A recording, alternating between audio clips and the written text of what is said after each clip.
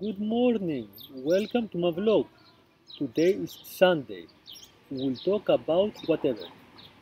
Those can be parks, birds, passengers, schools, dirt, and couples. Those are whatever dibbly gobbly things that you can see in your way.